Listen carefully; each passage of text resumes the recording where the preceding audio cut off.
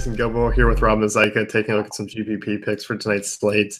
Uh, seven games. You and I, I mean, we like the slate. You know, there's kind of a lot going on. Um, I feel like people are kind of against it too. I love it. Uh, there's no real clear cut ace. I mean, Carlos Martinez, he's a pretty good pitcher, but going into Cincinnati is a tough spot to pitch in itself and with their lineup. So there's a bunch of pitchers to pick on tonight, a couple gas cans as well, but it's just a great slate all around, in my opinion. Yeah, it's fun. And I mean, we do have some positions that are pretty weak as far as, you know, middle infield catcher's not the strong, but there's a couple options that we do like. Yeah, there are. Uh, spe- specifically, second base and uh, shortstop are pretty rough, but we will find it to make it work. Uh, we'll jump into catcher here first. Uh, Tyler Flowers just continues to hit the ball well. I mean, hitting over 400 over the last two weeks. Um, obviously, the three, 365 average isn't going to hold, but uh, he faces another weak, uh, weak arm at home. Um, Braves offense in another good spot here. It is. They're implied uh, 5.2 runs against Nick Pivetta, who uh, he's faced 55 righties this season, and he's given up five home runs to them already. So I like the righty power bats in the Braves, and Tyler Flowers is definitely one of them. Yep. Uh, then you and I, I mean, we basically just nailed it down to him and Salvador Perez. Uh, and Perez, I mean, extremely cheap on DraftKings, two nine. He's been struggling a little bit, but you know, a matchup against Fiers is just too good to pass up. He's allowed 12 home runs to righties this year, 490 WOBA. Um, you know, for once, the Royals are actually a decent option. Yeah, Fiers. uh, it's, it's rough against the righties this year. And uh, Salvador Perez, uh, historically, he's been better against lefties, but this season he's been hitting righties pretty well with a WOBA of 355 against them. So on a slate where catching is uh, pretty tough to find, he's not a bad option for uh, some upside. Oh, definitely not. Anyone else you like? Not really. I mean, you could look at guys like Josh Phegley against a lefty, but when a righty comes out of the pen, he'll probably get pinch hit for. So it, you can just take your chances on that. Yeah, no. I didn't see anyone else that really popped out. I mean, you got the Cubs game with the wind blowing in, so Realmuto and Contreras not really on my radar. Yeah, I like Realmuto for cash, but not for tournaments. Uh, first base, uh, Eric Thames going against Samardzija. Uh, I don't mind Samardzija tonight, but obviously I think Thames is the one bet that I'm really worried about, just with that huge power. Yeah, especially with Travis Shaw at the lineup tonight, unfortunately. Uh, Eric Thames is the big lefty bat for the Brewers. Uh, Samardzija's given up a WOBA of 380 to lefties, and Thames has an ISO of 301 against righties this season. So he's starting to hit his stride again. It might be a good spot to get him at a lower ownership. Yep, I like him. Uh, A's bats come in tonight for me. I, I, like him in a contrarian sense, especially Ryan Healy, who's just been on fire this year. Uh, solid numbers against lefties in his career, showing off some big power. Uh, J.A. Happ, I mean, obviously not the arm that he was last year. Um, just been kind of average. I know he's been banged up with uh, arm issues, so um, A's bats might be a little sneaky tonight. They definitely have the power if not striking out. Uh, it's a good spot for them. Uh, what I'm looking at first base is Matt Carpenter. He's been uh, kind of cold lately uh, over the last couple weeks, but he gets a matchup against Asher Wojciechowski, who gave up four runs in four innings in his last start. Um, it's a great ballpark for him. I think this Cardinals uh, lineup is one of the best uh, spots to look for.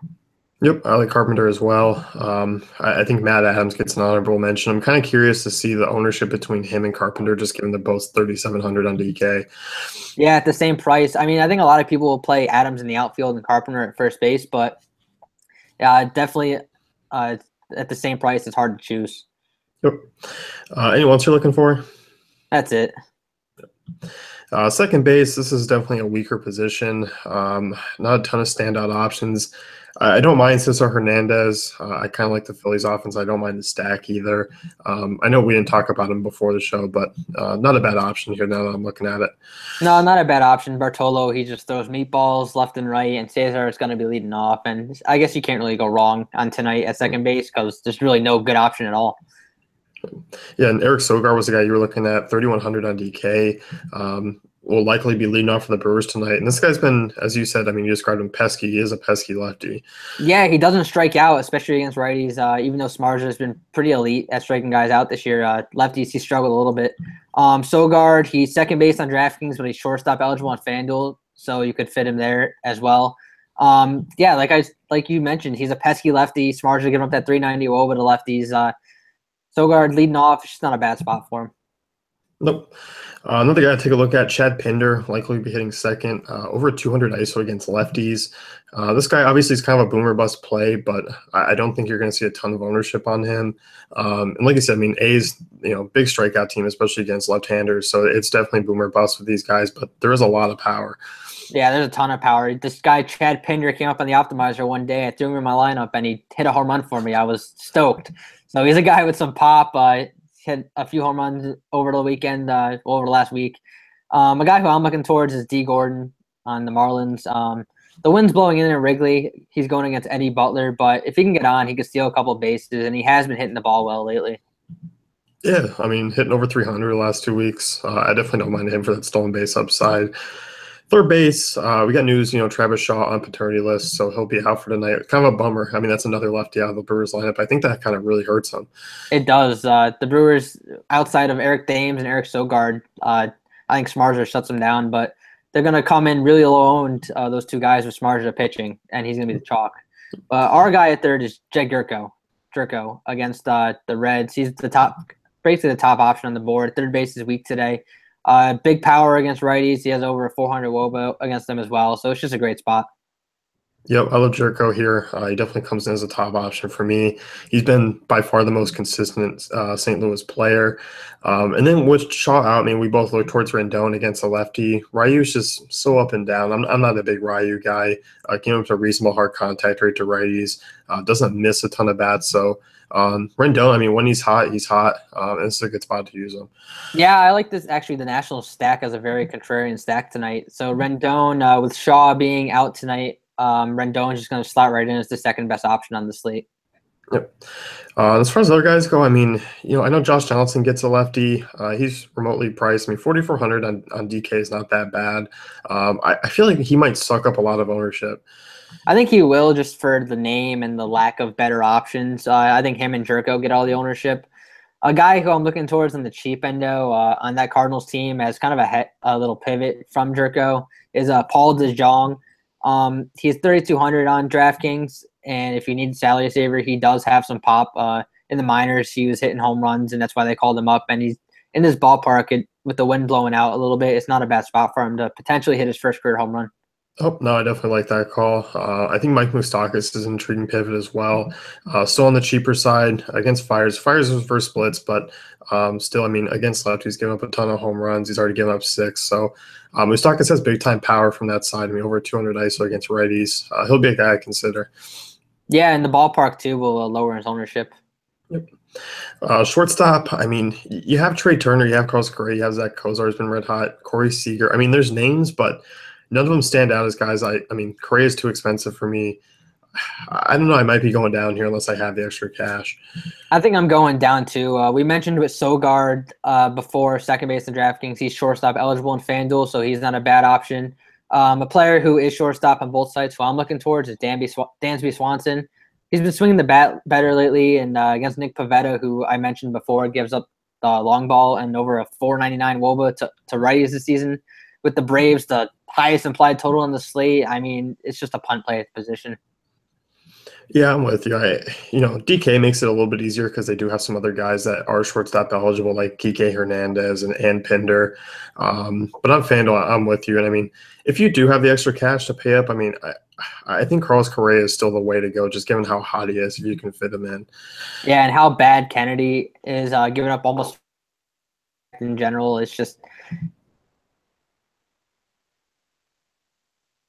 progress eventually.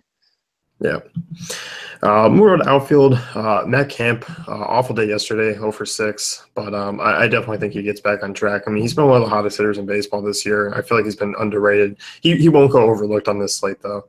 He won't, even after the 0 for 6 yesterday against Pivetta. Uh, the Braves are one of the best offenses on the board tonight. Like I said, highest implied Vegas total.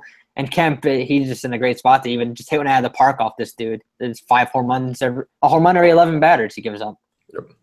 Uh, and you and I were talking. I mean, we expect Odubel Herrera to be the highest owned player on the slate just because he's super cheap. And I mean, coming off back to back really strong games, hitting second in the order against Bartolo Colon, um, there's no reason that he won't be under 30% ownership. He has, yeah, he's looked like absolute crap this entire season. But these last two days against the Giants, he has five extra base hits, including a home run, six RBIs. and eight at bats. Uh, he had a big weekend. I'm hoping that's the start of something because I got him in all my season long teams. I got him in daily, and he's cheap, and he's a good good play in all formats. Uh, and this might be a night. I mean, we're talking a lot of cheap guys. I'm not going to be afraid to leave a fair amount of money on the table. I'm not either with uh, nowhere to really pay up on pitcher besides Carlos Martinez with his price. Uh, it's a good spot to get contrarian with the cheap bats. Yep. And I think a pair of Royals outfielders, I don't mind Lorenzo Cain, Jorge Bonifacio. Uh, Bonifacio carries a little bit more power upside than, than Cain does, but given that Mike Fiers his numbers against righties, um, I, I, think we're going to get those two as, you know, contrarian options, probably less than 15% ownership.